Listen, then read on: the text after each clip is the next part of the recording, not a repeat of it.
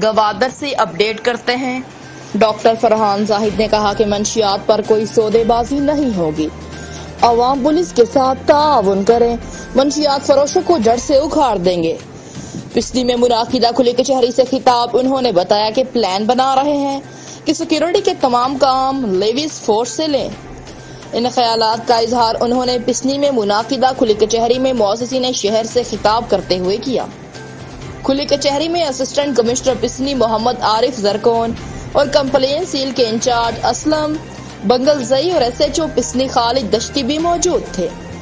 S S P Gwadar doctor Farhan Zahid ने बताया कि पिसनी के लोग इंतहाई पुरअमन लोग हैं और आज पिसनी के लोगों के साथ मिलकर बहुत खुशी हो रही है और पिसनी के लोग खुली कचहरी में जिस तरह अपने मसाइल बता रहे हैं, मुझे इससे काफ़ी हौसला मिल रहा है। रिपोर्ट इख्तलाफ न्यूज़ बलोचिस्तान।